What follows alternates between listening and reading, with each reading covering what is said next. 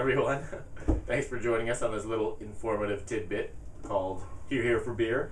Oh yeah. I'm Lee, the one that smells like garlic. I'm Jay. The one that doesn't smell like garlic. so, Jay, what are we talking about today? We're talking about something very near and dear to me, and that is the beers of the great city of Chicago. And why Chicago is a great beer drinking city, right? And a great beer city, not just a good great city for drinking beer, great city for making beer. And a great city in general, right? It's a pretty great city. Well, except had- for a few months of the year. It's just a, uh, Well, you've had what, how, what, how do you say how long you lived there? three winters. That's Three how it's. Yeah. Yes. Well, you you've had the time there. I've only spent very short visits there, Right. five times over, but experienced every season, including minus. What's your 19. favorite season? That winter, obviously. Well, winter, the first yes, falling into snow. Where you freeze up, your eyes freeze. That's fun. Where we on the L platform, we want to push the button. Uh, that was always fun. But you know what really helped when we were there was drinking beer, obviously. So uh, I remember, if we can talk at least about, I think the brewery that really is the modern take for Chicago, the one that's most popular for the modern era. right. The first one that you made sure. Well, I drank beer Their first big, their Yeah. fir- Chicago's first big craft brewery, which was. Pipeline. oh no, Goose Island. There you go. And since now bought by Budweiser, but actually they still have some great beers, and Budweiser has given their given them their autonomy. So I do love me some Yeah. Bourbon County and some Matilda. who doesn't love the Bourbon County? Oh shit. I think this, for this one we should start breaking out some drinks a little early. Though. Do it, cause I'm hot and thirsty. All right. Well, what do we have? In honor of Chicago, let's drink early. yes. Well, because Chicago is also a great place for what else is there for um For getting afternoon? drunk. Some stoop drinking. Stoop drinking on the stoop. That's right. People Well- pass by and say, "Hey, have a beer with us," and they sit on the stoop and have a beer with you. That's right. So I'm gonna give you the already mentioned Goose Island. I already feel like your shirt and what we're doing here. This is like a Goose Island ad, but it is totally not. That's right. We'll have to anchor ad Goose sometime later. distributes more than anyone else because now they're owned by Budweiser. Well, you have the traditional, as we talked about some other ones. Goose, the one that's most popular, I guess. And I have the Young Buck, the up and coming one. Off color. Off color beer. that's right. This is uh, Goose IPA, which is, I guess, their first big flagship beer. Yes, that's. And uh, They are known for others, though. Honkers. right, We've got a 312. three one two, the Chicago area code. Where's our Like I said. Where's our well- jar? Where's our tap jar? Our It's top jar. somewhere over there. I don't know, but Uh, You go ahead and talk. and then I've got the off-color brewery one, and that's uh again the Young Buck, the new ones on the block, a couple years I guess old, uh, from one of the co-brewers or the uh, I guess co-brewer. That's how you would say it, right? From, Goose Island, and they do off-color, and uh, this is in Logan Square, which I'm not even sure about the geography. I mostly Logan Square's cool. I mostly stayed around It's at the Logan North Station. River, North Loop, unless you were bringing me around places. And this is a, a Gose, which actually we were trying to find the rating for Sparkles Oh, Find Some Trouble, I did a horrible job for this. Which this one is, uh, again, we can't even find this uh, really rated right now or anything, but, So much foam. and our pouring is really bad because we've been drinking since years 10 a a.m. lot because your glass is bigger. Yes. We've been drinking since 10 a.m., so I should have used the half. eight hours glass. in.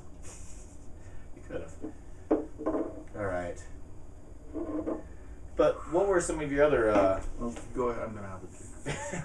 I think some of the other favorite spots that were there. You actually talked to me all about Half Acre, which I never got to Yeah. visit any time. Half Acre's relatively new. They're expanding very rapidly. North side, they have a lot of great beers. Also, very neighborhood place. This smells It's really pink. not yes. Um, It smells like not my usual kind of. even newer is Revolution Brewing, which Rev- is great. Revolution's the one I Probably got to not have. too far from this place. I had to have a lot of there uh, drinking that in different restaurants. and There's places across there. the board. They have good beers. IPA is really great. The porter is great. Uh, I used to hang out a lot at Piece Brewing and Pizza Place. It's a Connecticut style pizza, New Haven. What do they call that? Well, anyway, it's not deep dish. It's not Chicago deep dish because that's honestly that's probably better somewhere else outside That's of for Chicago. tourists. That's for tourists. Um, I used to hang out a lot there though. Half owned by the uh, guy from Cheap Trick. They have live karaoke. the double guitar guy. No. Yeah, you can see his guitar there. Great pizza, get potato pizza. All the beers are good. It was Obama's favorite place to drink beer. They made the inauguration there, except inauguration inauguration there, except for a kind of a snafu.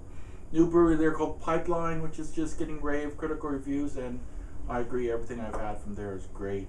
Like some of the beers might sound strange, but damn, they're good. Well, you were just there a month or so ago, right? A couple months ago, I tried uh, Cruz Blanca, which is Rick Bayless's Chef Rick Bayless's new brew pub, and damn, I was there the opening week, and they have a porter there that is spectacular. Maybe the best porter I've ever had. That alone is worth going to check out. That's I remember Cruz you uh, couldn't wait to rave about it to me when you were in Chicago already. yeah, I wanted to just marry it. So um, there are of course several breweries other that I haven't mentioned. We'll make a list, and Lee will put it. Lee will put it there. on the list. Um, well, I if you go to most bars, though, Chicago's very craft pe- and like hands-on kind of work people. So any kind of local bar, they'll probably have some local beer. So if you're out of Chicago, that was the buy a thing. local beer. I mean, that was also the thing was we. Um, well, actually, how do you like your? I actually, Yeah. this was one of my favorite beers when I lived in Chicago. Still one of my favorite beers. It's first, it's a beautiful color.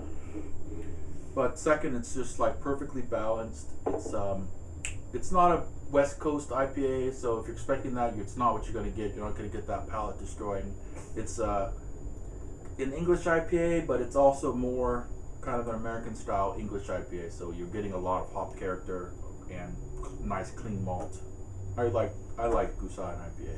No, I think Goose Island's solid all around with just about all their At offers. the brew pub too, they have something called the Midway IPA, which is like between a it's the Midwest and they call it Midway IPA because it's like a midway between an East Coast and West Coast IPA. Plus- It's also really if you're there when they have it, it's also really great. and it's- the and O'Hare they have a lot of- midway. Right, right, right. Midway, the airport, and they have a lot of things that you, know, you can't get in bottles because, like I said, they're still autonomous, so they can brew things they just want to try. if only they still had the uh, was it the MBA program Right. from years and years Right. ago. That would have been nice. Um, I think you should actually try this. And uh, smell drink. You you probably should. It's interesting. This is a first experience with with off oh, color. it smells really sour. Yes, it's actually not so sour tasting. It's a good, very floral scent. I guess one of the things that's supposed to be brewed with Hibiscus? hibiscus. Yes, For that it. color too. so it's got the color and it's got So, the okay. scent. Are you done With talking about off color, about that beer? Because yes, we mentioned I'm gonna breweries. keep drinking. I want to mention other places to go drink in Chicago. Well, that's what I was gonna say. You were talking about like Metropolitan, not Metropolitan, Revolution. Metropolitan's Metropolitan's another one. great I've had too. that. I prefer Revolution, but either one is great. yes, um, Map Room, which is a beer bar, and it's like one of the foremost beer bars in the country. Uh, Hopleaf in Andersonville.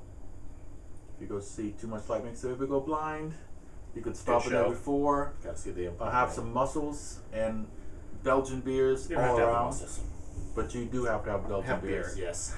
Um, Kuma's, Kuma's Corner. There's two locations now. Great burgers, good beer selection, cool crowd. Let's just say cool crowd.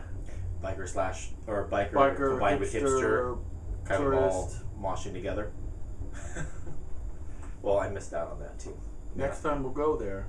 I had to stay around, you know, North Loop and River North. Yeah. North River. River North. Park, River North. Yes. So I ended up with places like Charcoal and Tim O'Toole's. Mike Edge. Ditka's. I no, I didn't eat it because, but I ate at Weber Grill when someone else had to go there, so had that too. Oh, You're and, you know, tourist? like the bar. Yes, I was. I had to have many a touristy time. Transit's Chicago. easy in Chicago, even if you're drunk. It is. That's actually probably one of the great things about Chicago for a beer drinking city is transit. I mean, you can pretty much get everywhere. It's pretty easy to figure out. And people are they like drinking. Hence what we're doing right now, and uh, some stoop drinking. In fact, uh, the main street along the lake is called Lakeshore Drive, which is LSD, they call it for short. And there's a saying in Chicago that people go to work on LSD and they come home drunk. Should I laugh? Rim shot. Oh, that is awesome though. But Chicago is one of the great places to actually sit, drink, and great of course, beer. Again, I'm not saying they're alcoholics. I'm just saying great beer. No, it city, is great beer. drinking city. it's a reason to appreciate. I mean, great art, great culture, the art. Yeah, that is another reason to go there for sure. But I mean, it's. great museums. I would say there. We would say probably there's a lot of beer Overtalk. cities. great overtalk. Yes, just great over talking for that too. But I mean, there's the cities that are supposedly recognized, like your Portland, like your San Diego, stuff like Yeah. that. But places like Chicago, they're underappreciated for both the beer they craft That's true. and just to actually have the good atmosphere for drinking, both in breweries and in bars and restaurants. Because it's a real city. It's a, like a real working city that just also happens to have great beer. Every little bit of it.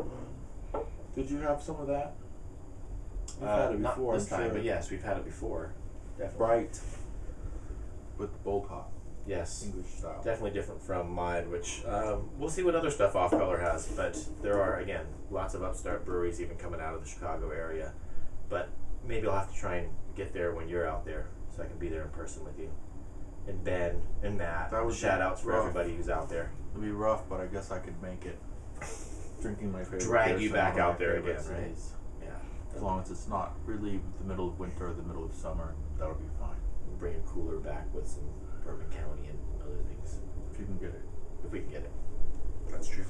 So, that's pretty much it. I mean, that's that it? That's it. It's just a quick thing where we're going to talk about some good cities. You know, it's not as informative as some of the other ones, but hey, either way, If you're going to Chicago, though, some nice places. drink to through check out. Chicago. Yes, we'll make sure we have that list up. And anyways, I will have to say that I'm Lee, the one in the Goose Island shirt, I'm Jay, the one without the goose. island. and this is Hear Hear for Beer. So thanks for watching, subscribe, and we'll talk to you next time. Support your local brewery. Oh, ah.